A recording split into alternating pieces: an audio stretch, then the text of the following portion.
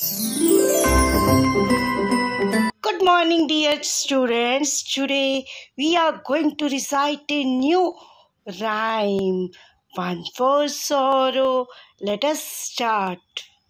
One for sorrow, two for a joy, three for a girl, four for a boy.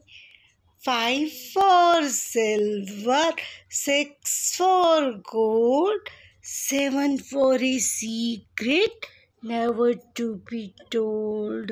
Let us revise one time more. Recite with me.